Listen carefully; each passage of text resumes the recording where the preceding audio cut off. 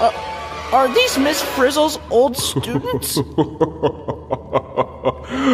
I told you children to stick to my curriculum, but you just had to break my one rule. Oh no! The gate's beginning to close! We're all gonna die!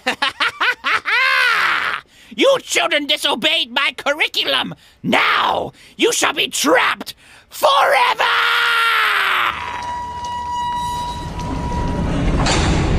Man, I should have brought my nightlight.